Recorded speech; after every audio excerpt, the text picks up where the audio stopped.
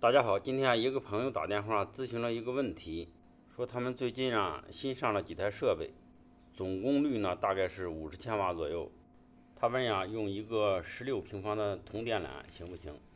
在回答这个问题之前啊，我问了一下他的配电室到这个设备这的距离，他说只有几十米远。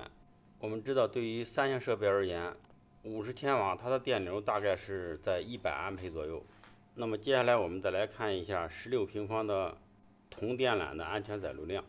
我们通常用这个电线的安全载流量的口诀：十下五百上二，二五三五四三 G，七零九五两倍半。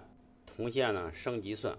由这个口诀呢，我们可以知道，十六平方的铝线它的安全载流量是十六乘以四，六十四安培左右。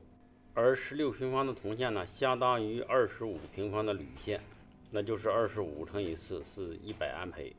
而它的三线设备的总功率是五十千瓦，额定电流呢也在一百安培左右，距离呢又不是太远，因此呢，十六平方的铜线呀是可以胜任这个工作的。它呢是可以保证设备的长期安全的运行。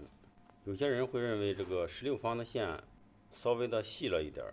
其实呢，大可不必担心，只要你用的是符合国标的线，就可以长期安全稳定的运行。